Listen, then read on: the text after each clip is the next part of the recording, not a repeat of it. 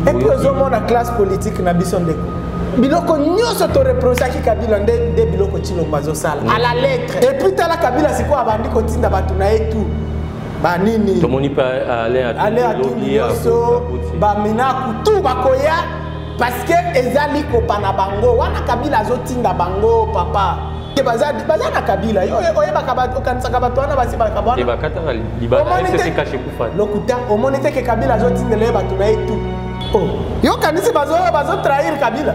ye nde atindi bango likopa na bango likopa na bango likopa na bango l'autre fois tomonaki gouvernement congolais elobaki que baforce régionale ya eac baye na république démocratique du congo mpo na mission moko offensif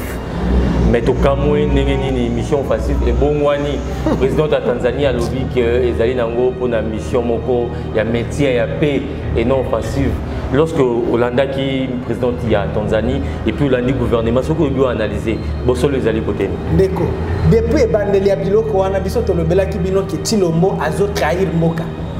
lelo basigne nyonso ya haute trahison ya ndeko tilombo e, e, eza reini akosi biso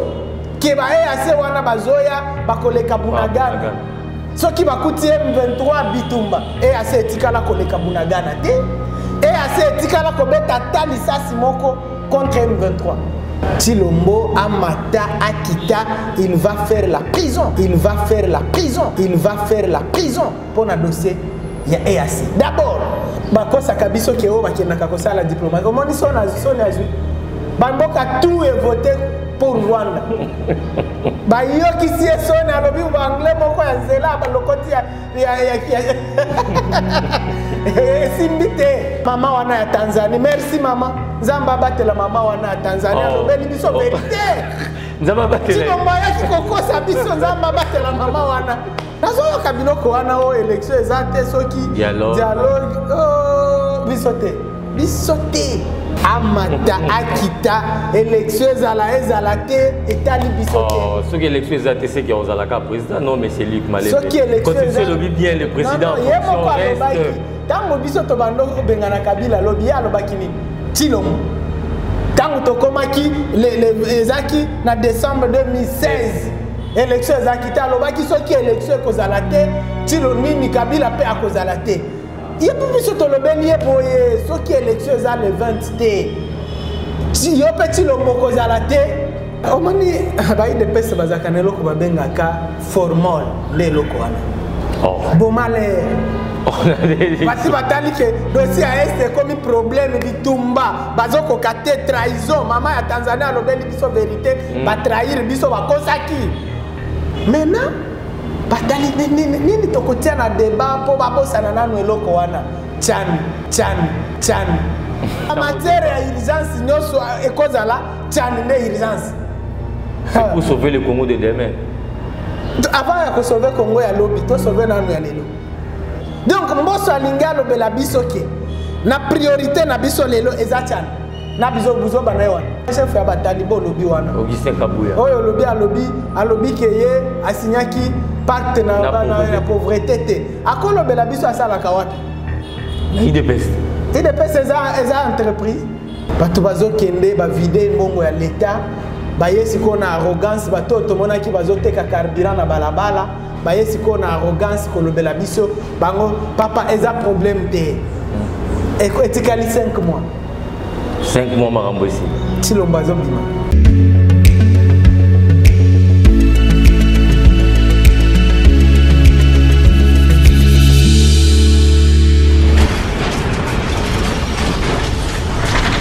Ma Mission TV, le miroir du monde. Plus de 160 000 abonnés, ce n'est pas facile, c'est parce que ma mission télévision, le miroir du monde, et la pandai, ya kuiba ko informer bino pe ko saïla bino musala toujours kitoko, fidèle téléspectateur de partout, mbote na bino. Kasi mukolo alelo, ndenge kaka na paretaka toujours na baetando eke na bino pona ko mebela bino ba information to pe pona ko beta lisolo etali bongo République démocratique du Congo mikolo nyonso na ba mission télévision tolobaka que soki Congo te tokolobela mboka nini parce que apart république démocratique du congo tozali na mboka mosusu te deux fois nazalaka ngai moko te nazalaka toujours d'habitude na invité moko oyo tobetaka na ye lisolo etali congo kasi mokolo ya lelo nayambeli bino bongo moko ya mwana mboka oyo azali kosala résistance c'est-à-dire na opposition du côté ya martin fayulu eside na lamuka au moins na nkombo ya lik euh, malembe oyo azali vraiment moto bolingaka mingi parce que à travers ye barévélation ezalaka azalaka mwa trop trop mais au cours ya cette émission vous allez découvrir banouvelle nini et puis barévélation nini ya makasi oyo ndeko tope mwana congo lik euh, malembe abongiseli bino j'ai dit déjà mbote na invité na ngai ah, mbote mingi ndeko journaliste nasepeli kozala lisusu na émission na yo monene oyo ya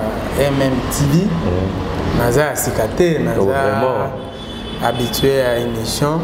nakanisi tokomeka kosolola na bandeko mm. mpo tolobela bango nini ezoleka na mboka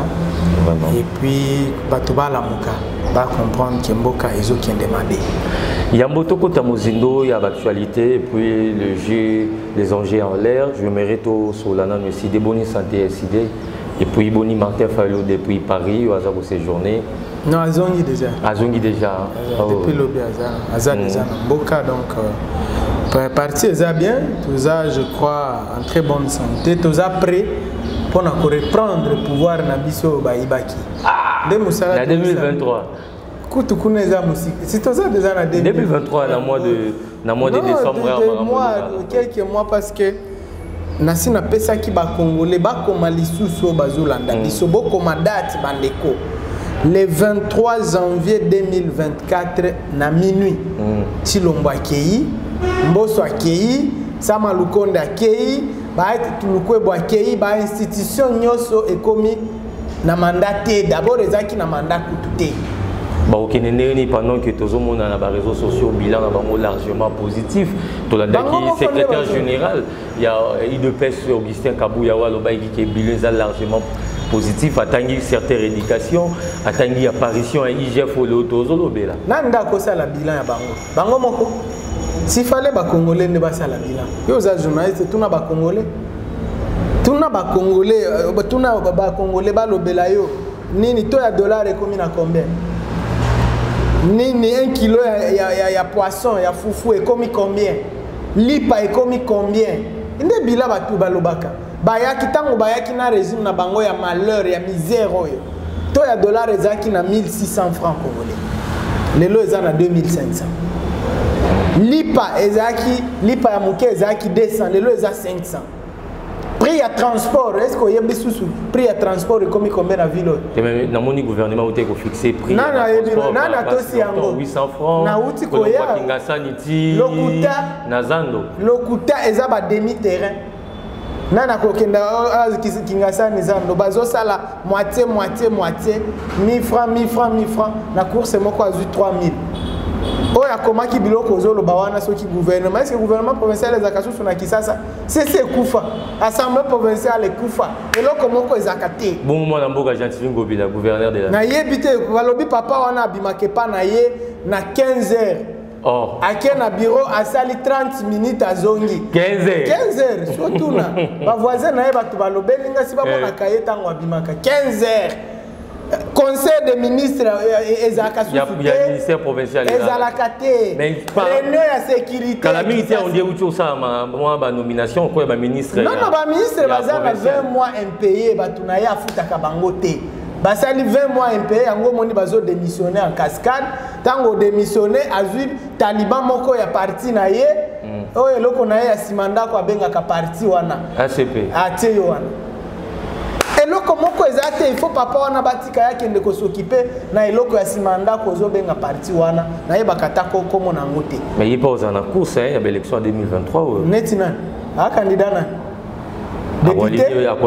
nono ye aza kandida nani kaza kandida depute wana eza problème te mais est ce que yayenga bilo yengo bilayengo bila bia décidé pene na décembre 2023 atya candidature na présidentielle na yo okosala yango motu nyonso eza droit mais akozwa combien de voix c'est ça le problème hmm. bakandidati bazalaka kaka eza droit na yo motu nyonso na nga nakozala candidat hmm. mais nakozwa combien de voix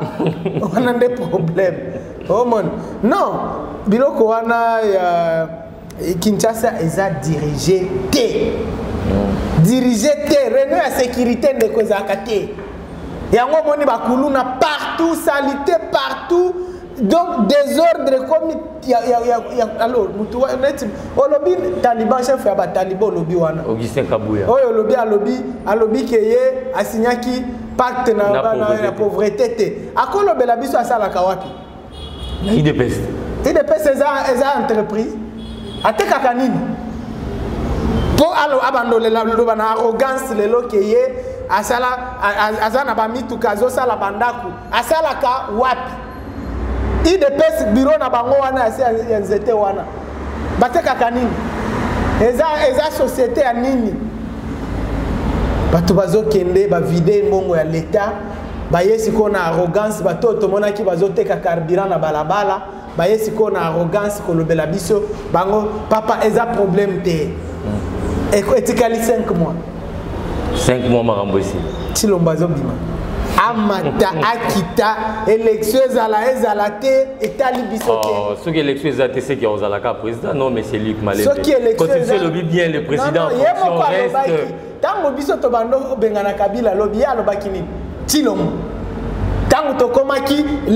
ezaki na décembre 2016 elektio ezalaki te alobaki soki elektio ekozala te ntilo nini kabila mpe akozala te ye mpe biso tolobeli ye boye soki elektio eza le 20 te yo mpe ntilo mokozala te oh. hey, eh, eloko toboyaliki kabila ye nde tokondimela yango nabanzi epuis eh, ozomona classe politique na biso ndeko biloko nyonso toreprochaki kabila nde biloko tshilombo azosala à la lettre soso oloba abandi oloba élection ekozala te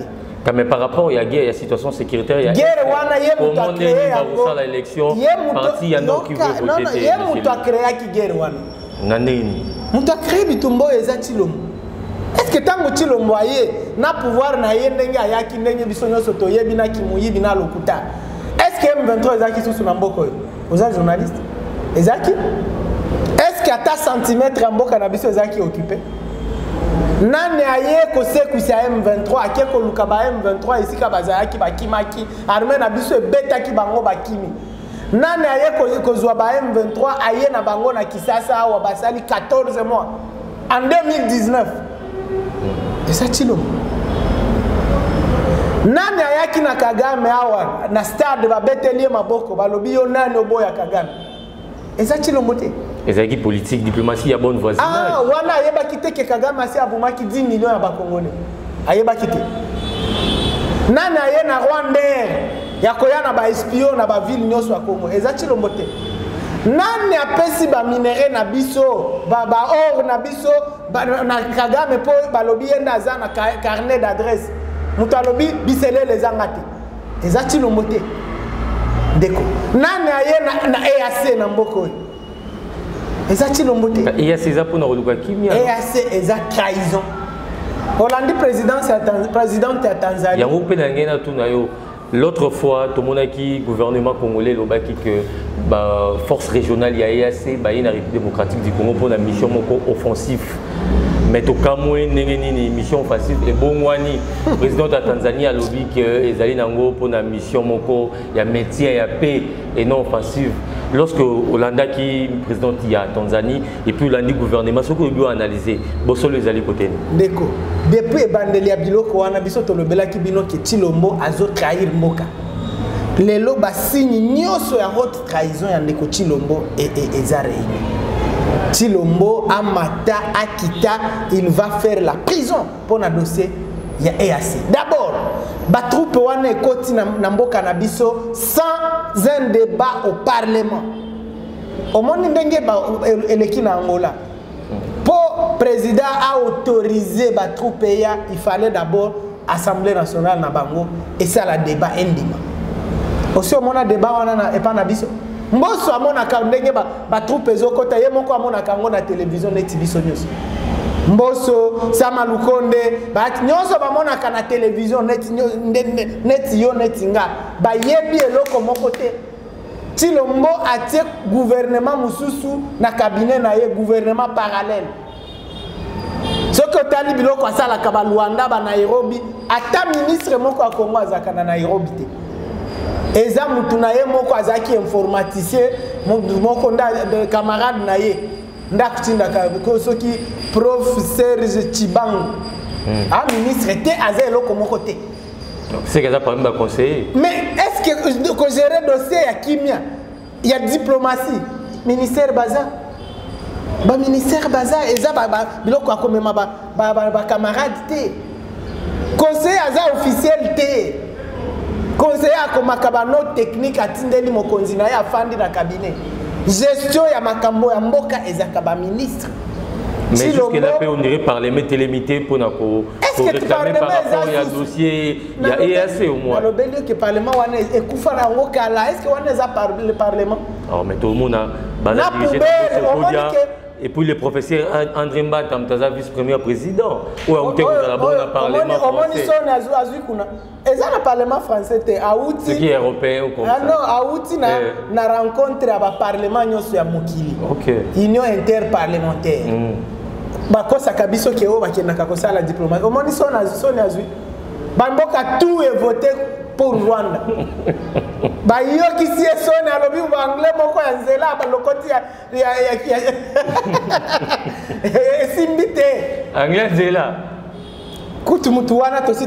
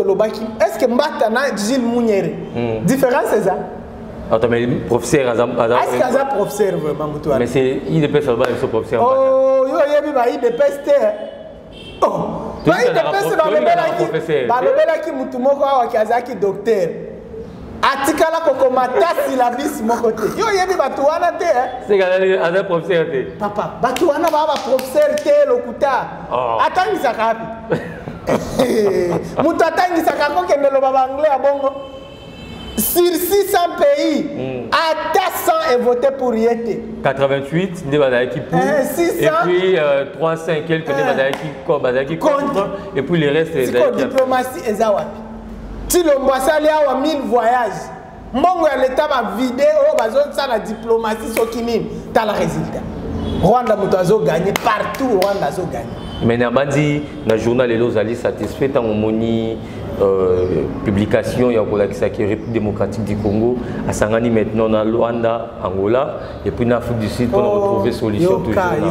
na est eza mpona kokotya kimia ti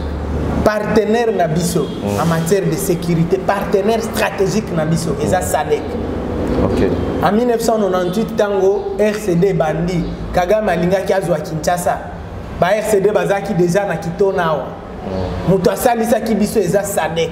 eza afrique du sud eza angola eza zimbabwe eza namibie les 9 pays voilà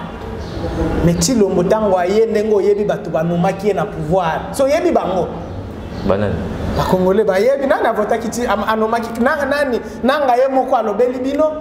awa congolais nanga ye moko batanga nkombo ya félix tshilombo na, na, na jour ya publication no osi otangaki biloko nanga alobaki na jeune afrique alobi azalaki au première loge ya deal oyo etiaki ndeko tshilombo na pouvoir kolanda te biloko alobi wana na tele 50 wana eza retro pedalage wana batshilombo basi babengi ye abangi nde ake kose komeka nano biso tozotanga eloko alobaki na jeune afrique parce que même soki olandi biloko alobi wana na, na, na tele 50 alobi accord alobi ezalaki ya fcc cash est ce que nanga azalaki moto ya fcc cash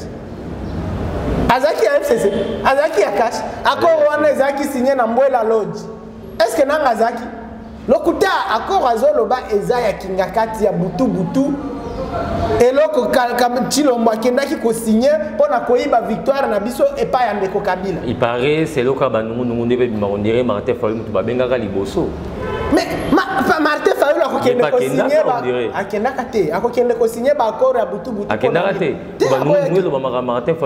non mais aboyaki moto aganye élection olobela ye ke ava azwa pouvoir akende nanu kosigne epai ya kabila na kagame yo okosala yango otrahir mboka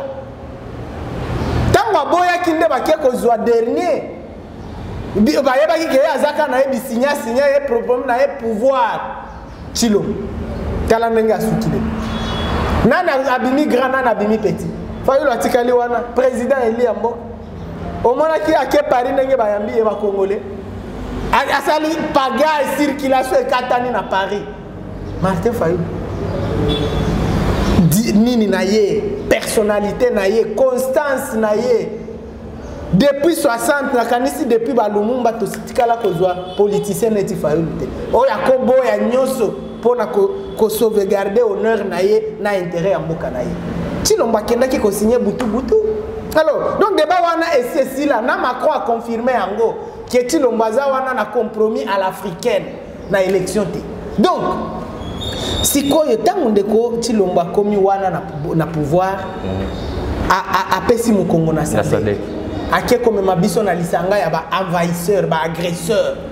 EAC. Trois pays ya EAC eza ba, ba envahisseurs na biso. Ouganda, Rwanda na Burundi. Ba agresseurs, ba envahisseurs na biso. Yo kokende koluka solution kuna ndenge nini? Eza neti ndoki. Apesi yo kindoki. Yo sikoyo bimi susu epa na yo oke koluka kisi epa na ye. Akopesa yo nini? Akopesa yo eloko sikoyo akosilisa yo lelo lelo. nde biloko tshilombo ake kosala mboka mobimba tolobeli bacommunike combien mwana mboka martin fayulu asali te badéclaration bimisa biloko kokende kuna te wana baenvahisseur ayokaki biso te akosi biso ke baeyase wana bazoya bakoleka bunagana soki bakuti ye m23 bitumba eac etikala koleka bunagana te eac etikala kobeta ata lisasi moko contre m23 m nini bunagana eza okipe awa le 16 juin tokokokisa inane mm. otikala koyoka ata lisasi moko ya eac contre m23 eac eza plutôt police ya m23 donc m23 ezwi localité epesi polisi na ye eac abomba arme na biso emeka kokoma wana te ake koluka ya mibale apesi ye ya se balkanisation ekomi zone tampon e arme na biso ekokoma wana te cilomba kokoma wana te balkanisation yango tala ye sikoyo mama wana ya tanzanie merci mama nzambe abatela mama wana ya tanzanie oh. alobeli biso oh. verite nzambe abatela cilomba ayaki kokosa biso nzambe abatela mama wana tilombo aye kokosa awa biso hey! baza na miso offensive na na oyo chaku na ye mosusu oyo pretre na ye eh, oyo oyo bakenda komela masanga kuna na bandala oyo pretre na ye akendaka kotanga baphrase na, na rtnc mm. nini bakosi biso te mama wana merci alobeli biso toye kuna kobunda te biso toye konegocie na m23 tolingi tolobela tshilombo boye deux lignes rouges na dossier oyo mm. topesi ye deux lignes rouges eh. soki ameki koleka baligne rouge mibale wana akei lobi na ntongo ya liboso konegocie na m23 toki kaka tshilombo ameki toyoki ke bazokende konegocie butubutu na angola parce que basenga ecc m23 alobi ah. aza prête ya cessez le fait basengi dialogue direct bazokende yango butubutu na angola si m23 ezalaki na angola oh. oh, esimaka bango esi ebandeke oh, mais tomonaki porte-parole ya gouvernement batikalaki bazosala yango bazoyoka soni ya bacongolais butubutu bazokende na eh. angola alors ekosuka ndenge nini ke barwandais nyonso wana parce que biso toyebi ata congolais moko na kati ya m23 soki bango nde bayebi bango biso toyebi ata congolais moko te ah, donc bakozwa barwandais nyonso wana baza na m23 lobi na armée na biso nyonso na politike na biso na, na diplomatie na baservice ya sécurité nyonso koinfiltre biso totalement kosilisa biso tshilombo à la minute où omeki biloko wana ya kointegre m23 na armée na biso lobi na ntongo okei okay. ya mibale ni deuxième ligne rouge goma soki goma ekwei tshilombo okei okay, okei okay, yo mpe lobi na ntongo biso nde toza na population ndeko namonaki yo na marche omonaki bamarche te nazalaki biso nde toza na population nyonso ya kisasa tilombo atikali na, na 100 taliban Ah. ndenge nini ozalaki tolekaki na limete yo nono baza sa kaka oyo nono kabuyo omonaki ye na stade te na bataliba sa na ye stade emelaki bango omonaki bango sans tosi tokonte bango eh. epuis bataliba moko drogue bakutu na makasi te ah. tolekaki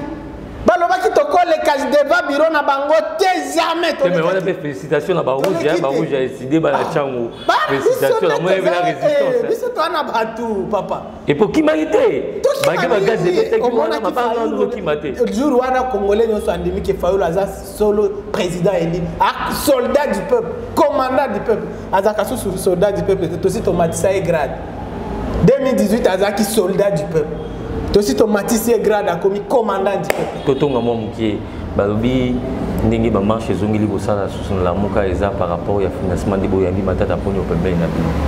po asala nini po alamusa bino su kote financement donc matata mponi aza na mbongo koleka fayulu mais bato basalaka blague fayulu asalaki mpo na société la plus grande société pétrolière au monde exxon mobile adirige yango ntina siège na yango hmm. bato bazalaka batikaka biloko wana nabandi yo mpo omonaki oyokaki yango déjà papa fayulu asengaki alansaki appel na mpo na marche oyo asalaki point de presse na faden house yo ozalaki asengi ke congolais nyonso eza marche patriotique congolais nyonso aya komarche na président ya mboka président élu ya mboka ye nde fayu matata mponyo andimi koya komarche andimi arépondre na appel ya fayu moïse katumbi arépondre na appel ya fayu eza biloko na yo wana te tosalaka ça fait 5 ans toza totikalaki na résistance na biso hmm. osi omona fayulu akende osenga mbongo ya moto nyonso bakendeki nini balobaka nani moïse katumbi aza na mbongo me akendaki epai ya tshilombo biso tokendeki na retour nde mpe ntango azwaki décision ya koya na marche mais biso tozantango alobaki ke non ye mpe ozala marche boyambakinono fayulu aza parce que boyebi ke eza moto oyo abandonaki lamuka pour non fayulu aza papa aza président élu ya mboka hmm. eza neti mwana na yo na ndako akimi akimi ndako abungi soki wapi enfant prodigue enfant prodigue soki azongi okosani bobenga na ye te soki moïse azongi na nalamuki esika autaki na moto akobenga na ye aza te me fayulu atikali wana esika nyonso bakozonga eza kaka ye te oh. nyonso bakozonga toza na ye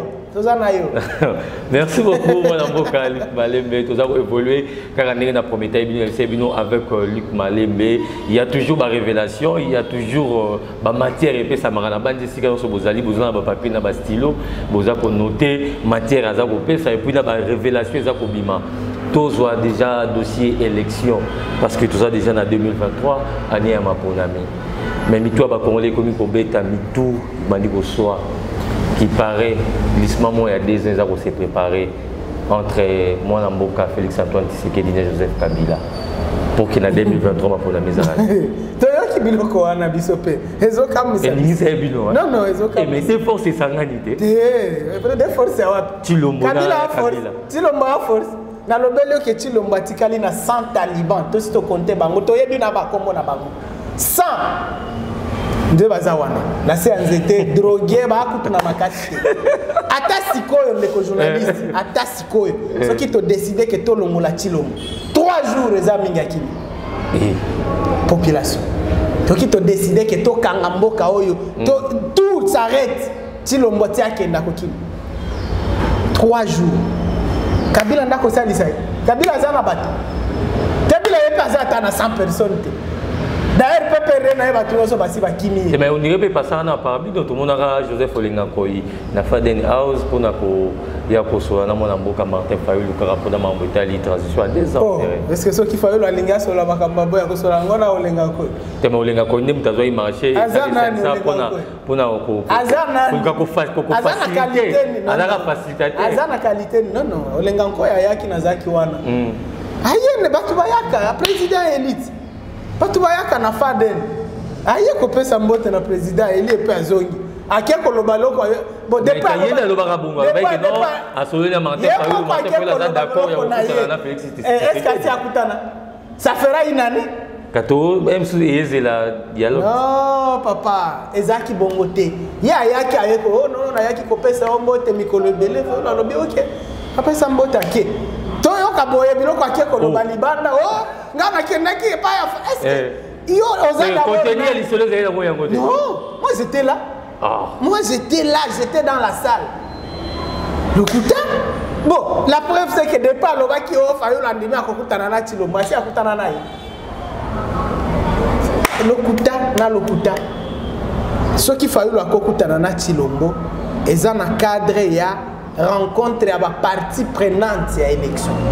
eza likopa ya fayulu na cilombo te toza na biloko ya kosolola entre fayulu na cilombo en privé eza te nini tokosolola ayibaki victoire na biso non non ayibaki victoire ndenge eyindi makasi esenga unité nationale ye nda créer yango biso sikoyo tosala nini ntango ayaki koya na ba m23 na ye awa tozalaki ntango ake kosigne baaccord na ye butubutu na kagame tozalaki ntango accord asignaki na kabila butubutu mpo banome ye toyebi konteni na yango sikoyo biso tokokota na nini nano ye azwaki ayibaki pouvoir na biso soki azokoka te azongisa c'est le seul débat oyo tokosolola na ye mais kifayulu abimawa akende pa ya chilombo likopar butu eza te mpe ekozalaka te fayulu aza na faden soki ye tilombo aza na besoin yako, ya kokutana na fayulu aya na faden si abandi olalalaka azalaki na faden abandi olala na faden ava atrahir vie na mokongo alors meke fayulu abima awa eloko ye wana ekozala te soki amoni ke azokoka te kitrahison na ye ekomi na suka aya azongisa pouvoir asenga na peuple congolais pardon a ah, congolais tokoboma ye te asenga pardon tokotia ye na justice asamba mpo bajuge na bango moko bakodeside soki basalaka moto ya trahison ndenge nini suka wana meke biso toya nazoyoka biloko wana o oh, élection eza te soki dialogue oh, biso te biso te tokokoma na buzoba soki tozokende soki le 20 décembre élection eza te mwana mboka parti fayulu ayoka acomprendaki yango déjà soki otali interview asalaki na novembre 2022 na france 24 na rfi mm. alobaki déjà yango alobi soki le 20 décembre élection eza te Tshilombo pe akozala te. Pour Seni déjà bandi ko réclamer que jusque là gouvernement. Eh to yeba ki ke ba osala théâtre. Ba osala théâtre ndeko ba okosa bino. bato wana na tshilombo ye moko abandi oloba o insécurité wana ekoki kosala parce que justement acréaki insécurité mpo akende na élection te soki eza na eloko nini tshilombo abangaka élection ana bila te nde d'abord azalaki na premier mandat te atikala kozala jamais eli te epuis sikoyo tala échec chaotique nde sikoyo akozwa combien na 2018 azwaki moins de, moins de, de, de 10 pourcent siko awa akozwa combien na 1 pourcent akozwa meme okasai ope pa vote tilomo na kolobaka kaka na fin euh, ya semaine passé alobaki akosouhaite après deux mandat na ye moto asuccéde ye ezala mwana mwasi wana etali biye wana etali ye etali biso te biso toyebi ke etikaleli ye wi mwa tozobengana na ye tozobanda bitumba na cilombo ndeko toa na peuple na biso moto akobangisa biso aza te asala likopa na kabila ndenge basalaki na 2018 etali biso te so omoni ke baza na kabila oyebaka bato okanisaka bato wana basi balokabanaomonilokuta omoni te ke kabila azotindela ye bato na ye tu soki oke lelo guvernema oyo seza ya kabila idps eza na pouvoir te oh, ndeko idps eza na pouvoir te ya bato ya idps eza kaka nini kose drogue na se ya nzete na limete nini président ah, totika nanu tilo mm. premier ministre mm. kabili kabiliste auti wapi sama lukonda auti wapi si fcc mboso fcc kabila lukwebo kabila mm. udps eza wapi epuis tala kabila sikoyo abandi kotinda bato na ye tu banini tomoni mpe ale atungi nyonso baminaku tu bakoya parceke eza likopa na bango wana kabila azotinda bango papa oh. yokanisi bazoya bazotrahir kabila ye nde atindi bango likopa na bango or biloko wana etali biso te ezala kabila ezala tilombo moto aza na population awa aza te tokobengana bango mibale kabila aza ata na 100 personne te omoi tilombo aza na 100 taliban na ye wana kabila aza na combien aza na mutu te nani nde akomarse na ville oyo mpo na kabila nani nani akobenga marse population ekoma koyemba akozonga eza population te eza population te eza bato mibale misato oyo bayibaki na epai ya kabila bazozela ye azonga mboka non bakongole eh, kabila asalaki biso nini nani abengani ke kabila eza bakongole te siza bakongole lelo nde bakochange mpo ani non basala likopa na bango esika balingi kuna etali biso te biso tozokonte date bakongole bokoma bien le 23 janvier 2024 na minuit tshilombo akei amata akita alinga alinga te asala élection asala te etali biso te parce que toyebi ke kadima ndenge aza wana kadima basi baprogramme ye neti ordinateur baformate ye na motu na ye nkombo eza kaka moko nde eza na kati tilo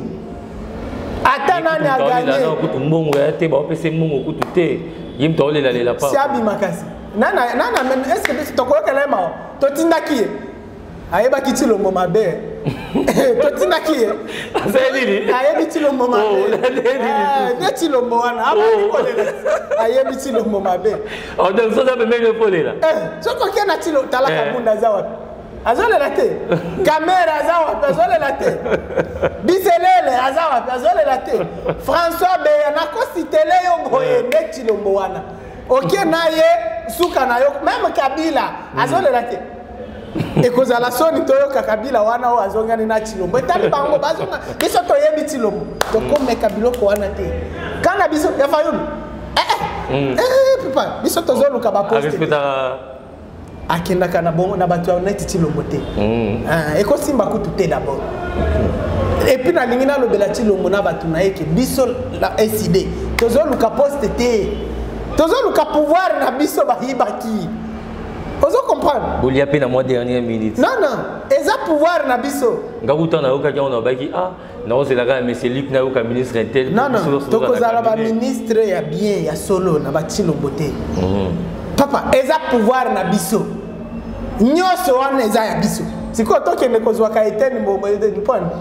epuis toza na force toza na population na biso eh, eh, tosalaka politike ya bongo te papa okoyoka eside na biloko wana te okoyoka lamuka na biloko wana te okoyoka président eli ya mboka oyo na biloko wana te soki toboyaki kokende depuis depuis basalaki union sacrée lelo eh, baza susu na eloko moko te nde tokende kosesalire ata yo moko bakomi na suka nde tokende kosesalire mpo na nini tokosala yango non non tozobengana chilombo koma date ndeko tozobengana chilombo na force soki ameki koboya ke le 20 décembre élection eza te aloba oyo nazotikala o oh, soki o oh, le président reste à fonction ii toza na biloko na ye wana te tozobengana na ye na force mhm. toza na population tokoya na mobilisation na biso ya makasi bapolisier kutu bakosalisa ye te mutu akobundela ye awa aza te arme ekobundela ye te apesi bango nini ametile ah, bon salaire ya wapi azopesa 21 000 dollars na badepute oyo bazosala bamilicien awa bagroupe armé bamwanga cucu hmm. azopesa bango ba 21 000 dollars soda apesaka ye nini 200 000 francs nde soda akobundela ye bato bakobundela ye eza bamwanga cucu eza basoda oh, cucu moko bakangi ye na arrestation eh, nani sikoyo nani akobundela ye eza badepute apesaka ba 21 000 mai koloba ke awa na mboka oyo eza na polisi ya kobundela ye aza te bana na bango baosouffrir neti biso na basi na bango nani akobunda aza te ntango tokodeside kolongola chilombo arme eza arme na biso bakongole eza arme ya chilombo te polise eza ya biso bakongole eza ya chilombo te epuis nyonso tozosouffrir ndenge moko donc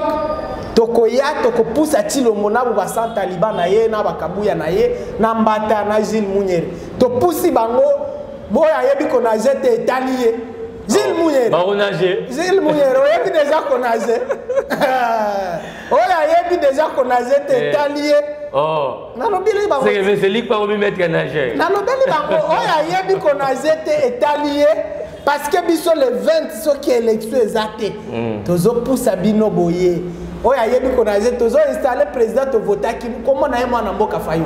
tozo installe ye na pouvoirkaka na dossier ya baélection lokola tozali na année électorale tomoni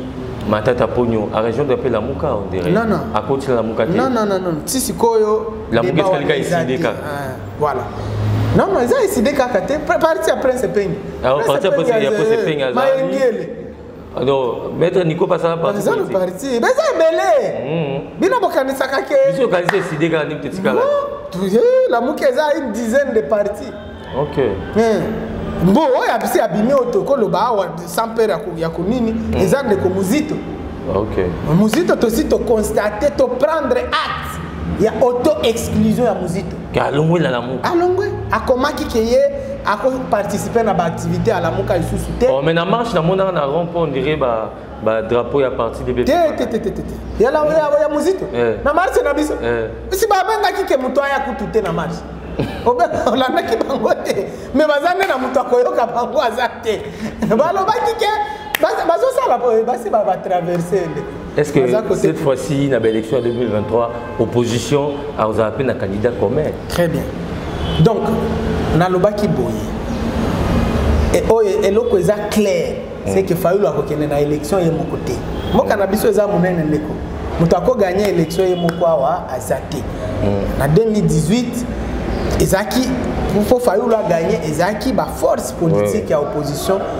ba ensemble ya katumbi ba mlc ya bemba ba nyonso esanganaki azalaki eli donc tokokende ye moko susu te touti na congrès na biso na juillet dernier tozalaki na congrès ya eside na kisangani na congrès bapesaki mission na, na, na nini na comité central na biso ya eside mm. ezwa contact na baparti mosusu oyo toza na vision moko pour to gagner élection et non bozwi deya nani non bacontacte eza nano et puis problème nakanisi à ce stade eza ya koloba o oh, tozwi nani ou bien tosala non non il faut nanu to libere mboka tobengana nanu cilo hmm. parce que oh, obengana ye mpo totya nani kasi nano nani tobengana so tobengani cilombo mpo ke totya nani non topropose eboye hmm. cilombo élection ya modele nini akoorganize d'abord ndeko lobela nanu nga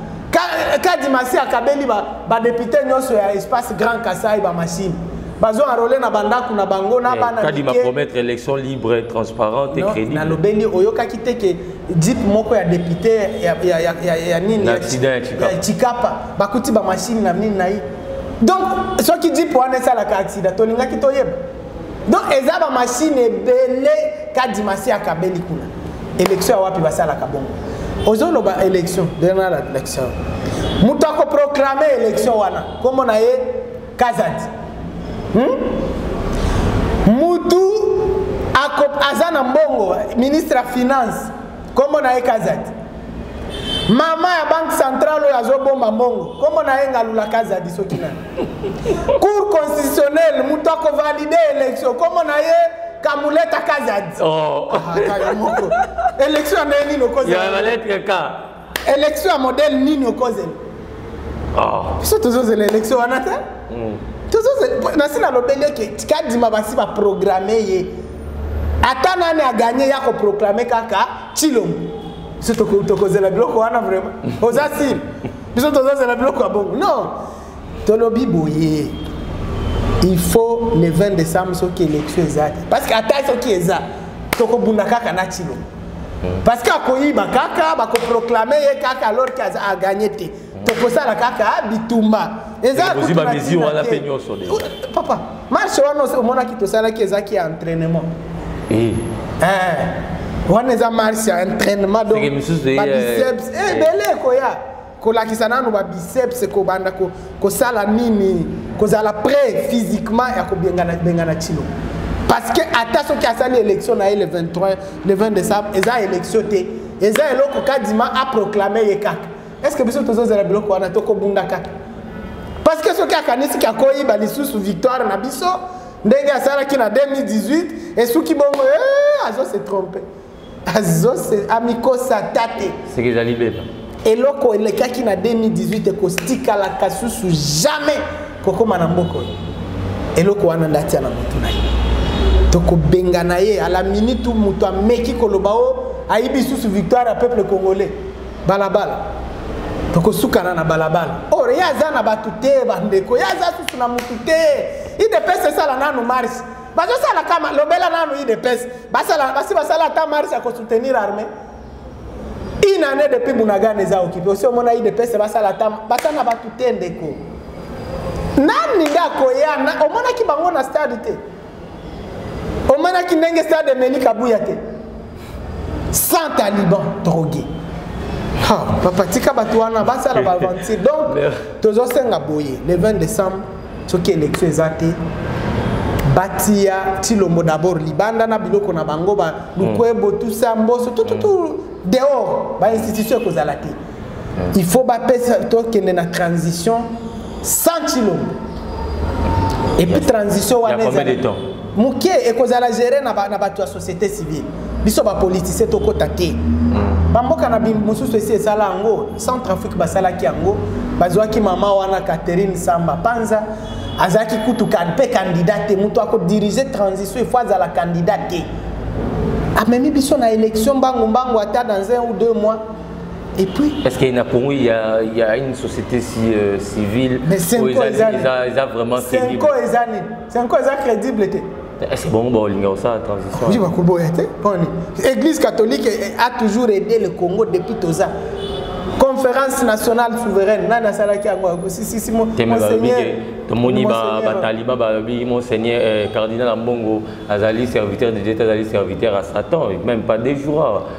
par rapport ya ba groupe ou te kolo ba bande guerre na église guerre na église hey mutu mutu alonga ngo azate mobuta mekaki alonga te kabila meki alongi te bango nde bakolonga guerre na église catholique eh pardon omoni ya mbongo wana moto amata na papa mobile mm. omoni motuka ya papa wana se unique au monde ezalaka moko ambongo amati na yango omonaki te nazalaki ngai nazalaki na ndolo ngai na katolike cardinal ambongo amati na papa mobile cilombo akotikalaka jamais komata na kati meme fayulu akotikalaka jamais totosa bato ndeko soki population ya congo eza bazoloba 120 millions d'habitants moitié na yango ambongo azogere yango 60 millions d'habitants kaboy azogere combien 100 taliban epuis ozokende kofinga moto ya bongo motuna oyo ezosala vraiment oyo akosala guerre na église etali me ngai nalobi ke société civile eza ekutu kutu ya makasi bango nde bakogere senko eza ecc eza eza ercp ezali voilà mise réveil ah ba wana te oh, oh, oh, tozana évêque azododo kamba azaana évêque pascal eh, mukuna mais église réveil nazali zela tokende zela kasi tokemale memeselikmukuna tuna histoire na ye na nani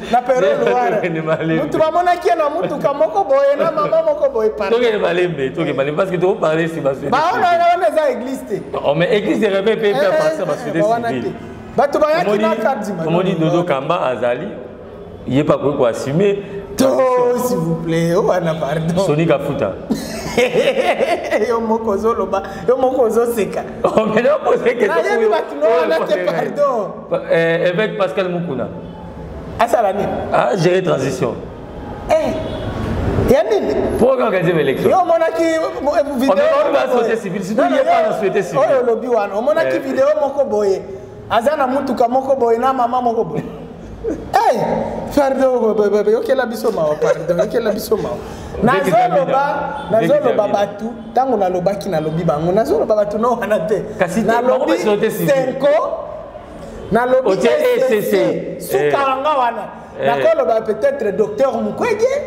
po ti lelo mukwege alobi te ke aza candidat Mm. aza motu monene ya société civile Mm. Pamba batu Ye pa toza- kogere. Oui. toza na bapersonnalité ya mon- ya monene bacompatriote na biso na mboka oyo ya bafuti na mayele ye mpe ondenge na ba- na bareseau sociaux na batwitter eyelo bamwa mingi baoposte bafotos la personne qui va diriger transition ya 6 mois et tout Na- ya docteur mukwege oui non tokondi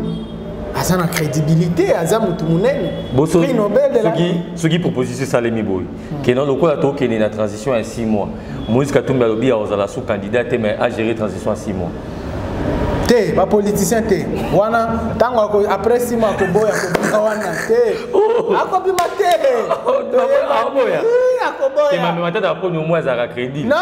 aza politicien te incrédible na fayulu incrédible mais aza eh. politicien hmm. yango biso topropose ke na, na cas ya fayuluese kaka na senko ou bien voilà moto ya société civile oyo oh, aza candidat te eh. ou bien docteur mokwege voilà wana tokondima hmm. bato na wana te bato tomonaka bavideo na mituka na bana basi moko boye pardon bato wana te ok donc toza claire na dossier wana okay. mais koloba awa ke le 20 décembre ekoki mm. bato moko boye balobi oyo oh, tilombo va rester au pouvoir jusqu'à l'installation mm. afandi wana baye na kabila bafandi i lobi na tongo dehors toza na peuple ndeko moto akobangisa biso awa aza te biso nde toza na peuple congolais peuple congolais evotaki martin fayulu na 62 pourcent ndeko élection ya tour moko etikala kozala jamais na mboka depuis l'indépendance 62 pourcent na élection ya tour moko chilombo aza na légitimité te ata bitumba ozoloba wana abandaki yango me akosilisa yango te mpo d'abord aza na légitimité te mm. bakongole est ce que ozomona bakongole baza mobilise nsima na ye mpo na bitumba toza te parce que toyebi ye te tobotaki ye te ya mibale azozere mboka na émotion azozere mboka ayebi ke baaffaire ya leta bakendaka na émotion te soki otuni ye azokende mokili mobimba hey, eh, koluka solution oyo oh, soki diplomatie solution eza awa asali mo avance budget ekomi 16 milliard hey, eh, yoka frappe Mpe ozo croire na biloko wana. Oh, mais tout le monde est en assemblée nationale. Régime oyo ba papa wana lokuta. Régime tiani mutu na bango ye moko tiani alobi ke eza te. Eza lokuta. Aza professeur ya économie. Papa, yo si omona wapi budget ya tango ya Kabila ezaki na 4 milliards. Lipe ezaki na 200 francs. Mais yo lobi okosi oza na 7 milliards mais lipe ekomi na 500 francs. ça relève de quelle logique ntango ya kabila budget ezalaki na 4 milliards mais to ya dollar ezalaki na 1600 mais yo okosi ke budget ekomi 16 milliards mais to ya dollar ezomata chaque jour lokuta oyebi ntango régime oyo baye babandi kodetourne basali compétition ya détournement nde eza na régime wana soki oyebi kodetourne te balongoli yo soki oyebi epuis oyeba kodetourne ba 1 million te eye wana balongoli yo ye bako détourner ba, ba 100 millions de dollars ba 200 millions là okobimaka te donc ezali compétition compétition oyo ayebi ko détourner mingi nda atikali oyo ayebi mingi te longwa na balongoli yo na biloko na bango alors baye babandi odetourne mbongo ya leta badetourne ti basi badetourne meme bareserve de change ya banque centrale oyo esalaka ke monnaie ezala na valeur basi bayibi yango tout ezalaka wana te yango monene na biso ekomi papier ekobando kita maintenant eloko bazosala nde babengaka na économie plan sabillet donc bazofabrike kaka bamonnaie batie na marché mais eza na valeur te ça fait que dollar emati ya biso ekiti c'est ce qu'ils font même budget ya 1 milliard baza na yango te kesi ya leta eza vide bato oyo bakosa bacongolais meme ya 1 milliard boye baza na yango te olandaki te rapport ya odep observatoire ya dette publique tilombo depe aza wana asi amemi atie kongo na dette ya 10 milliards de dollars akolobela biso 10 milliards wana ekendaki wapi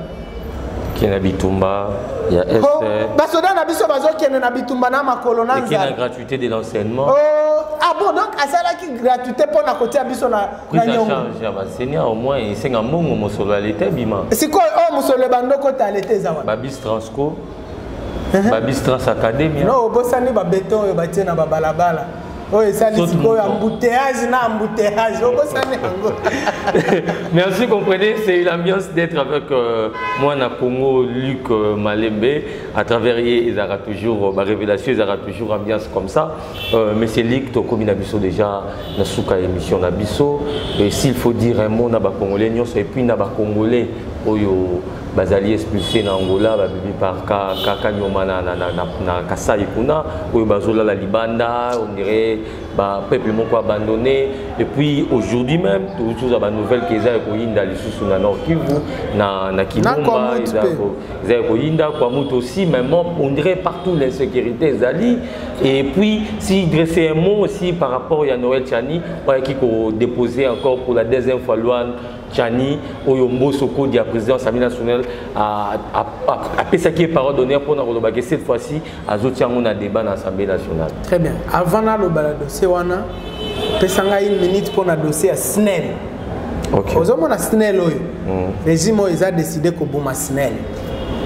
pona ntango regime oyo baye bakutaki dg oyo azalaki ya snel papa euh, nini kayombo hmm. maipari ye nde adetourne ye 48 million lokuta kayombo aza mwana ya snel snel moto atangisa ye meme kotanga okay. azwaki ntango ya mobutu azwaki nini azwaki bourse d'études mm. akendaki kotanga na libanda ya mboka na france na na Côte d'Ivoire mbongo ya semaine abaengage ye abandi komata ti akomi directeur donc aza aza atangela yango sikoyo régime oyo ntango baye ndenge oyebi bango problème na bango il faut babuma snel mpo bapesa marché wana na baétranger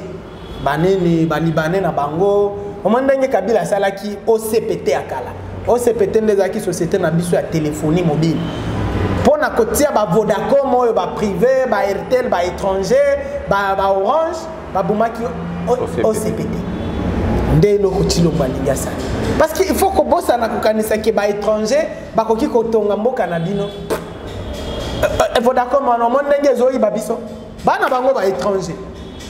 rtl wana omoni ndenge bazoyiba biso escroquerie na escroquerie bamega oyo ezalaki ya 10 dollar lelo forfait ya 10 dollar mensuel ekomi 20 dollar baza ba étranger bakoyokela biso mawa mpo ane alors nde eloko balingi ekóma na snel okay. régime oyo baza sikoyo nini bautilize dga ya kayombo oyo aza na ye agronome akoseli kayombo makambo bakangi ye na baisef na bango wana ya lokuta ya lokuta baza ata na preuve ya mbongo moko ayibi te bameimi ye na makala sikoyo batie nini agronome wana ye nde batie dg omoni ndenge delestage ya kinshasa ekomi ngai naza na gombe ngai naza na gombe meme gombe courez ekomi kokende depuis papa agronome wana aza wana mosala ya agronome eza ya courant cour eza biloko ya technique bandeko ndenge nini okoya na agronome otia ye na biloko ya courant musa eh, place ya agronome wana eza na nini na kabakanya makasi ese kuna tozoyoka balonaka soki banini bamasangu kuna nde batinda ye kuna bakuluna nde bakendaka ye epuis ezalaki ka parenthèse mais na toyoki ke kayombo esika aza na prison balingi bakondana ye 7 ans ndeko alors que aza innocent baza lokuta lokuta lokuta ah. ya igf oyebi ndenge bazaka soki balingi badiabolize yo batindeli yo igf ebe ekoseli yo likambo awa o oh, ayibi preuve ata moko ntango bake kosamba igf na nani ata preuve moko eza te papa wana aza innocent nazosenga na bajuge bakondane innocent te mpo na koservir bainteret ya baindividu papa wana aza innocent batika ye abima soki bakobimisa ye na bamosala na bango baboma snel baboma kuna me bakondane innocent te parce que tolandeli dossier wana jour ya kosamba ata preuve moko eza te donc euh, il faut biloko wana esuka e, e, e, ozo comprendre alors olobi mpona bandeko na biso baza ba refoule na, na angola olobi mpo na bitumba partout nzala misère omoni jour wana tozo marche ndeko mm. bato nyonso na nzela nyonso bapapa bama bazolola fayulu okenda wapi tolingi tokufa nzala na kinsasa ezobuma kaka neti bitumba na est ozo comprendre yango nalobeli bakongole probleme na biso bakongole eza kaka kolelalela tokanisaka ke solution ekouta soki lola solution ekouta lola te eza biso soki baisraelien ata na bible wana soki baisraelien ba moïse ayaka te balanda ye babima na, na egypte na nini na, na boumbu bazwa courage ya kokende na makolo ti bazonga na mboka na bango siti lelo bazalaka baesclave kuna donc boza na moïse na bino nkombo na ye martin fayulu madidi bolamuka eh, eza kaka kolelalela te na bareseau sociaux e eh, tozonyokama kolela no boyiya tolamuka awa bozela mot d'ordre ezoya kaka kala mingi te tobengana dabord cilombo problème ekozala solution ya congo lelo te ntango boza na motu neti tilombo na nini tilombo mosala ayebi eza kaka baveste na basapatu na bamontre osi oyoki bapri ya bamontre na ye na bachampagne na bavoyage suka ayebi biloko ya mboka te ayebi souffrance na bino te etali ye te azalaka kutu na congo te oh azalaka kaka na bamariage donc ye eza yaya eza kaka bisengo na bisengo tala ndenge asi asali kisasa oyo embouteillage moko ya blague te olie aregle problème ya embouteillage ye akangaka nde nzela bato nyonso balongwa ye kaka ye aleka moto ya bongo egoïste ya bongo donc akangi nzela ye aleka mais areeske wana aregle embouteillage regle yango te sikoyo biso bamosusu tosala nde nini biso toza na bapolisi te na basoda na bagr ya kokanga balabala biso tosala nde nini oli président areglaka problème amoni ke embouteillage eza problème tosala ndenge nini koregle yango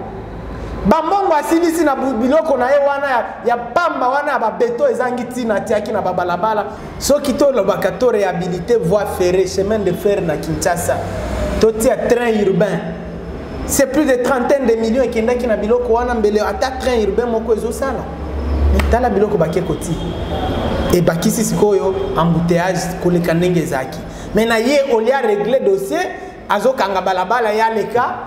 oh, epuis azoloba topesa ye deuxième mandat nani yango akopesa donc bacongolais botika kolelalela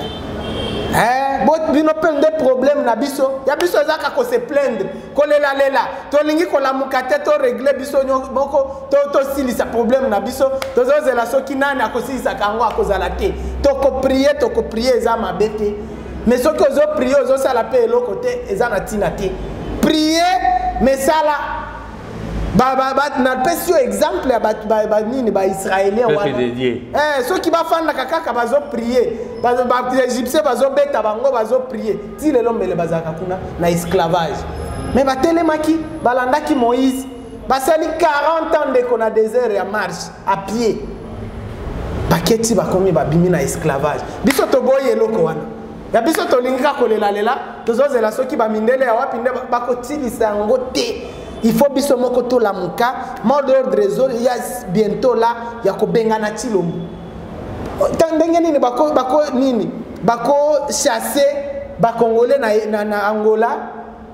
et puis bazo chasser bango neti ba mbwa mais président na biso azalaki oh, nini chilomba auti kozala na angola osi oyoka biloko wapi nde ya modele bazoloba toza na relation diplomatique ya bien na angola ndenge nini kasi bazobengana bakongole neti bambwa sans dignité sa eloko moko te donc motu wana azokoka eloko moko te tiani nga omoni baidepese bazalaka na eloko babengaka formol nde eloko wana oh. bomale basi batali ke dosi ya est ekomi problème bitumba bazokoka te trahison mama ya tanzanie alobeli biso verité mm. batrahir biso bakosaki maintenant batali nini tokotia na debat mpo babosana nanu eloko wana tiani biso tokosala nini na biloko wana donc mboso alingi alobela biso ke na priorité na biso lelo eza tiani na bizo buzoba na ye wana eh mais aprometaki alobaki bien que donc amaba matière ya urgence nyonso ekozala tiani nde urgence c'est pour sauver le congo de demain avant ya kosauve congo ya lobi tosauve nano ya lelo alobela biso nani ayaki na ba, na ba, nini na bakenya wana na baeac nani ayaki na bango eza haute trahison mosala ya parlement eza nini César ko est-ce que par, par, parlement autorisaki bato wana koya aza incapable kolobela biso omoni tilombo akendaka koluka bato neti bamboso wana mboso aza papa aza paka aza kaka na besoin ayiba mbongo moke akotisa na konti na ye aprepare retraite alors nde bato ti longo aza na bebe bato oyo bakolobela ye no te eza neti balukwebo omoni balukwebo wana bakoloba no te nononono mbongo eza babato moko baclasse politique oyo eza perime bamboso na balukwebo wana epuis on va y mettre fin bientôt ekozalaka susu na mboka oyo te Voilà. Merci beaucoup, moi na Congo, Luc Malembe, pour nous répondre à la mituna na biso et puis pour la disponibilité na yo. Et je tiens aussi à dire merci à Olivier Vucou, qui était derrière la caméra et puis c'est lui qui a tiré du côté montage. Pourquoi pas dire aussi euh, merci à Madame Bibi Kapinga depuis quelque part qui est ah, là de suivre en ces moments. Et mes sincères condoléances, toute la famille, ma mission télévision pleure ensemble avec vous, mais c'est grâce à perdre un de connaître oh, pour la famille, sur ma mission télévision tozali toujours na yo bapro congo bocontinue kosabonne parce que ma mission télévision à chaque fois informa bino en temps réel kasi ngai na bino tokutani mikolo ezali koya